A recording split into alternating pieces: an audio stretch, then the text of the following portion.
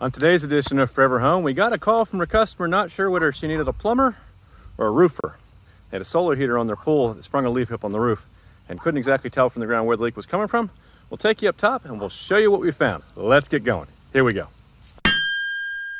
So we climbed up on the roof and I expected to find something obvious. And as I checked around the pipes, I didn't find any major cracks or breaks or something that would have caused that geyser. So I asked the homeowner to turn on the pump so we could see where the water was coming out.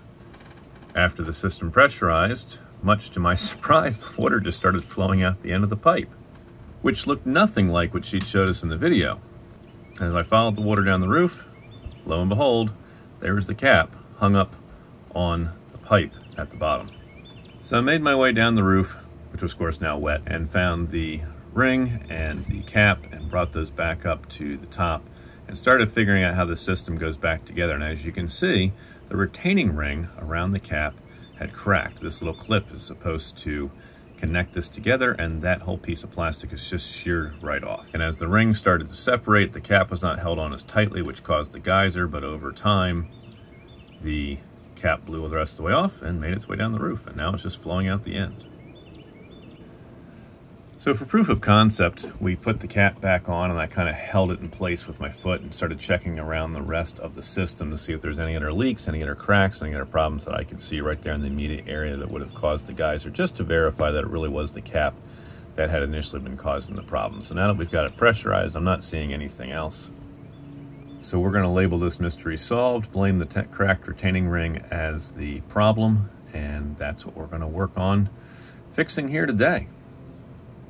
So the retaining ring here definitely cracked, which allowed the cap to pop off.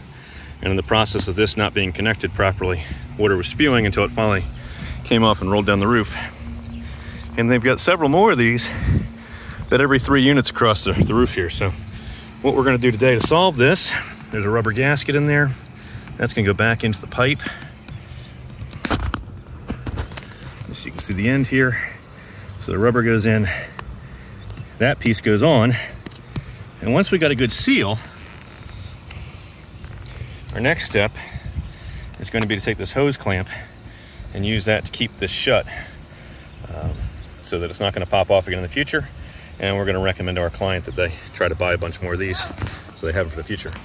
Okay, so we've got our ring around there, our cap on the ring here, and then we're just going to tighten this and pull it all together. All right, that's got us tightened all the way down where it needs to be, and that should hold it good and snug. We'll have them fire the system back up and make sure it's not leaking. Assuming that works, then if need be, we could run these around these other ones if needed. They're about every every four panels here it looks.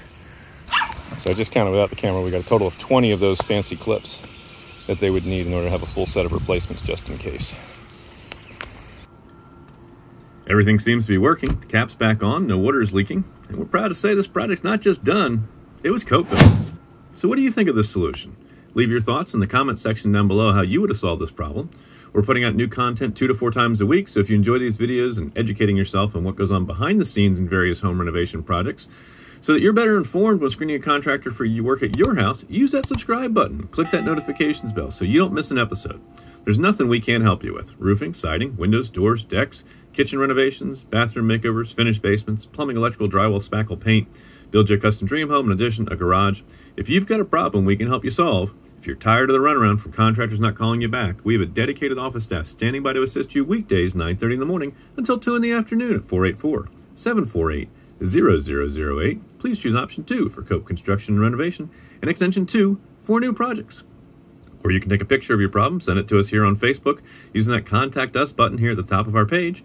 We are your full service construction and renovation team and a Pennsylvania home improvement contractor number 88078, also licensed in Delaware 10490.